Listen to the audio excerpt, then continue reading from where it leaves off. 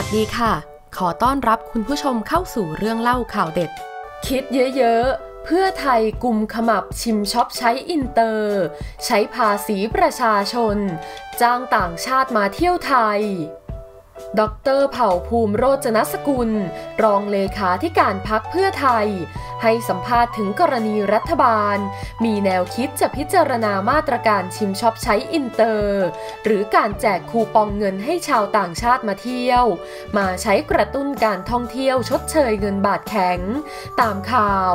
ว่าไม่น่าเชื่อว่าแนวคิดการแจกเงิน เพื่อกระตุ้นเศรษฐกิจเป็นครั้งครั้งๆจะลามไปสู่การแจกเงินให้ชาวต่างชาติเที่ยว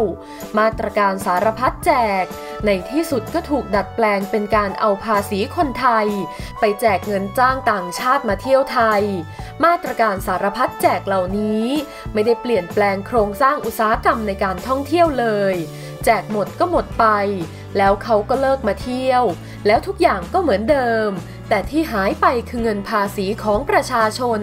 เงินบาทแข็ง ก็ต้องแก้ที่เรื่องอัตราแลกเปลี่ยน ปรับเปลี่ยนนโยบายการเงิน ไม่ใช่ปัญหาอยู่ที่หนึ่ง แล้วก็ไปแก้อีกที่หนึ่ง ซึ่งการแจกเงินให้กับนักท่องเที่ยว โดยใช้มาตรการด้านราคา เป็นตัวดึงดูดการท่องเที่ยว ผลลัพธ์มันคือการได้มาแต่นักท่องเที่ยว ที่ตอบสนองต่อการเปลี่ยนแปลงด้านราคาสูง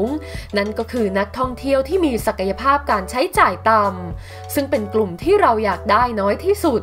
มีตัวคูณทางเศรษฐกิจต่ำที่สุด ซึ่งไม่ใช่ทางออก เป็นการใช้งบประมาณ ซึ่งมาจากภาษีคนไทยที่ไม่ชาญฉลาด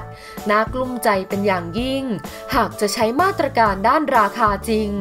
มาตรการเหล่านั้นต้องเอางบประมาณใส่มือคนไทย สนับสนุนผู้ประกอบการธุรกิจท่องเที่ยวไทย ให้สามารถบริการในราคาที่ถูกลง เพื่อไปดึงดูดการท่องเที่ยวอีกทอดหนึ่ง ไม่ใช่เอาเงินไปจ้างนักท่องเที่ยว ในลักษณะเช่นนี้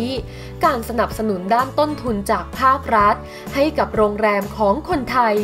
โดยสร้างเงื่อนไขดึงดูดให้นักท่องเที่ยว อยู่ในไทยนานขึ้น